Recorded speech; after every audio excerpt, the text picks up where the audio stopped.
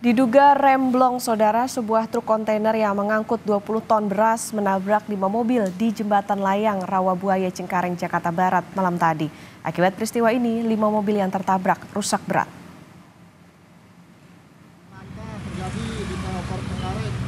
Lima mobil rusak parah usai ditabrak truk kontainer bermuatan beras. Selain itu, imbas kecelakaan juga membuat kemacetan panjang dari arah Cengkareng menuju Bandara Internasional Soekarno-Hatta. Menurut sopir truk, kecelakaan ini terjadi akibat sistem pengereman pada truk yang mengalami malfungsi. Petugas kepolisian dari unit Laka Lantas Jakarta Barat yang tiba ke lokasi kejadian langsung memindahkan lima mobil dan truk kontainer ke kantor Laka Lantas Satuan Wilayah Jakarta Barat.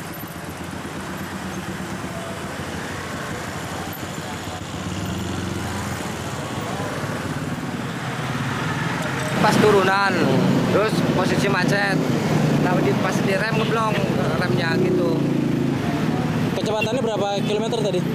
kecepatannya cuma 30 doang Nabrak apa aja? ini mobil semua Berapa biji? 55 Ada yang rusak parah nggak mobilnya?